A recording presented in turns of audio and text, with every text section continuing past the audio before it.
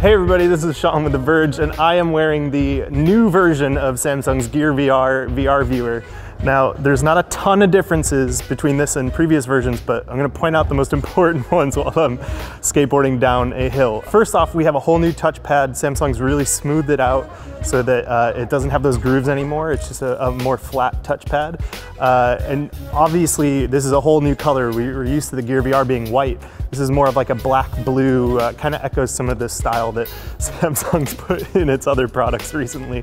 Uh, another big difference is that there's a new dedicated button uh, to bring you right back to Oculus Home so you can get to the menus faster. They didn't remove the back button though, so that's still there if you need to want, if you want to just go through the menus step by step.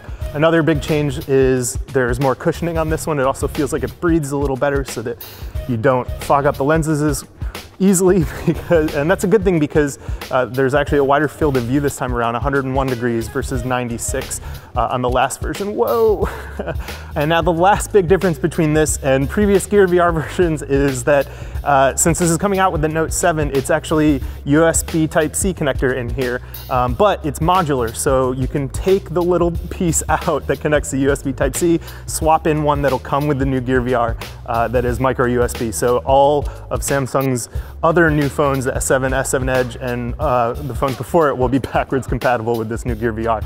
This is gonna cost the same as the last version of Gear VR, $99. It's gonna be available on August 19th when uh, all the other new stuff from Samsung drops like the Note 7 and the Gear 360. Yeah, that's it. This is the new Gear VR from Samsung. I'm gonna keep skateboarding. Uh, see you guys later. But what's cool is that it's actually, oh shoot. yeah. Uh, we can start back at that spot, right? Yeah. Uh, yeah. You should see the street view, okay? Yeah. Sure, you're the first person to do this. We are very impressed. Ready?